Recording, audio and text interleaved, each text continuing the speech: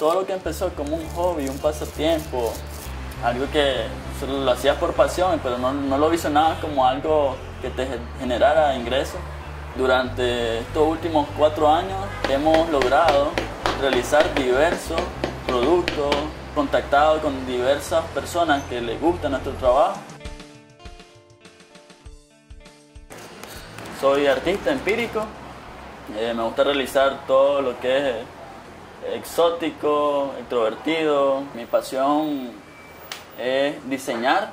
Empecé con mis primeras piezas a realizar logotipos sobre la materia prima que era el coco. Yo lo que hacía era algo bastante diferente porque aplicaba lo que era diseño gráfico sobre piezas de coco.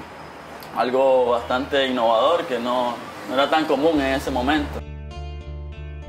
Venimos experimentando con serigrafía, con, con estampación textil, digital, artesanal y ahora tenemos nuestras propias máquinas que realizan este trabajo, que es un trabajo bastante fino, liviano, Liviano digo, ¿por qué? Porque no, no sentís el montón de, pintura en la camisa.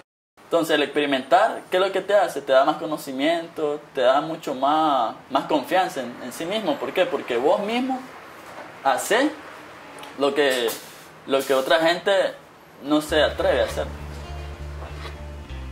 Yo me miro de aquí a unos 3, 4 años, nos miramos en un, mercado bastante diverso, con nuevos productos, con colaboradores que llevan una misma visión.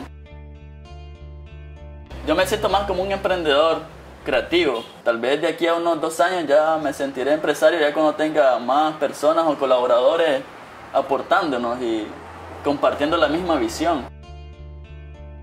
Mi línea principal se llama Nicas Artes Exclusivos.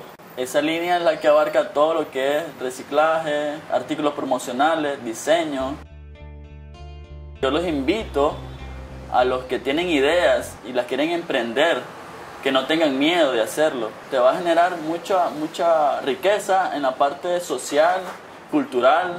Te ayuda porque ya hablas directamente con, con clientes, ya no estás esperando que tu jefe te diga tal cosa porque sos tu propio jefe.